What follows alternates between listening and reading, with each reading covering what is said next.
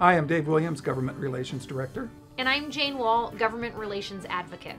It's important to understand through this session when a bill or a policy issue is moving forward or needs to be stopped, there are certain cutoff dates during the session when legislators make a decision whether something's going to move forward or not.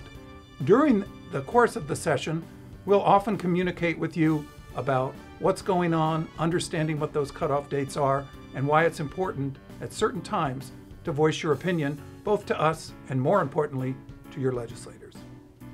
There are literally literally hundreds of bills that are introduced every legislative session, and a bill must go through a pretty rigorous process to, before it actually becomes law.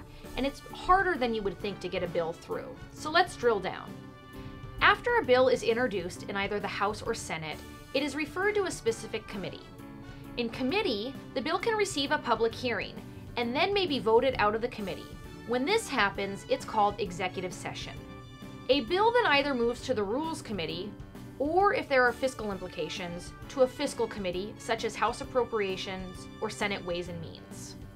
Once it's in Rules, it can be pulled to the House or Senate floor. Once that happens, it may come up for a vote. And if that happens, it heads on over to the opposite house to go through the same process all over again. Not only are these steps important, there are important cutoff dates too. These are the dates when a bill has to be voted out of a committee or voted off the floor. For the most part, if a bill is not acted upon by these cutoff dates, then they are considered dead. Now, not all bills have to follow these cutoff rules.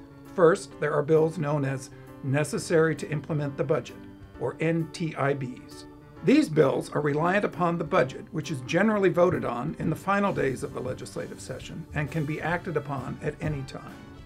Second, some dead bills can be revived by amending them onto another bill that is still moving through the process. While this doesn't happen often, issues we once thought were dead for the session can crop up at unexpected moments. The biggest cutoff date of all is sine die, the day when law states the legislative session must end. AWC's goal during the session is to ensure that bills that are a priority to us continue to move through the process, and those that are a threat don't progress. At those times, it's important that you be in communication with your legislators by phone, by email, or a meeting.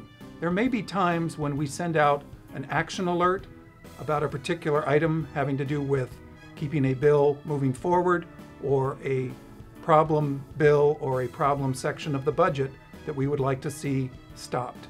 When we send these action alerts, timing is critical. The day we send them, we need you to call. If you don't, it may be too late. We are looking forward to working with you and hearing from you this session.